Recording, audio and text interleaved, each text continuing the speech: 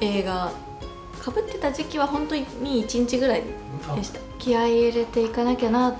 と思っていて市原さんも映画だからということでこういろいろマシマシ というか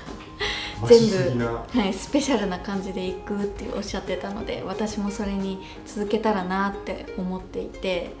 でもこの映画の台本がドラマの撮影の途中に来てでいきなりこう甘利田先生との恋模様が描かれていたので あそうだったんだみたいなドラマ中に驚いて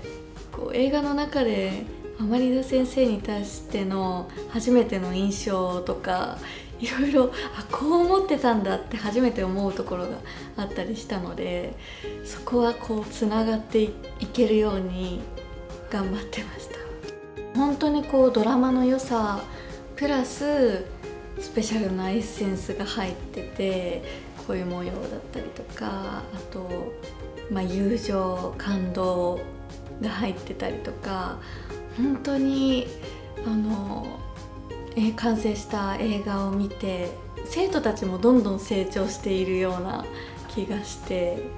生徒たちが本当に仲良くて本当にクラスみたいな感じだったのでこっち側も本当に先生の気分でいられるしなんか本当一つの学校みたいな感じでなんかすごくなんだろう一致団結感といいますかチーム感があって楽しかったですね。今回結構なんか受ける芝居というか受け受け身というか側が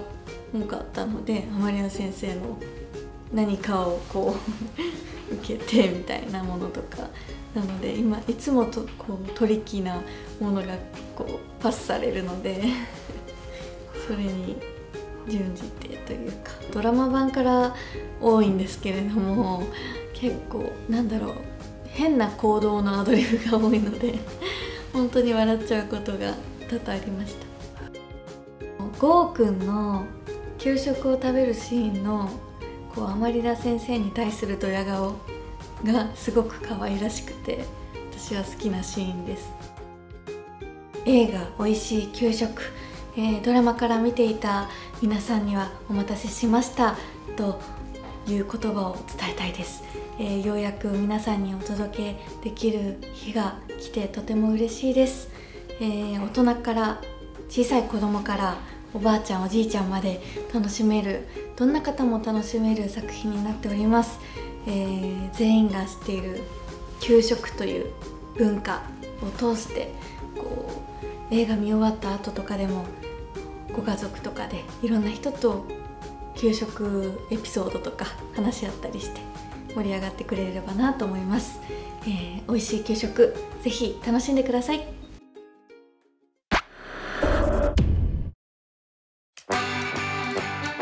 私は給食が好きだ。給食のために学校に来てると言っても過言ではない。しかしそんなことを生徒に悟られてはならない。そんな私に挑戦状を叩きつけた男神の号。この戦いはまだまだ続く。なんだそれ。うまそげじゃないか。コレステロールさん嘘だ。そんなの嘘だ。やめろやめてくれ。それはもはや罪だ。おうの給食を廃止します。これは決定事項だから変えられないんだと。私は。先生はいいんですか？僕は給食が好きですから。給食は文化です。給食をバカにするあんたに教育を語る資格はない明日からまた給食が始まる。僕が給食を好きな理由はみんなと同じご飯を食べるからなんだって。いざ実食。いただきます。うまい。劇場版「おいしい給食」ファイナルバトル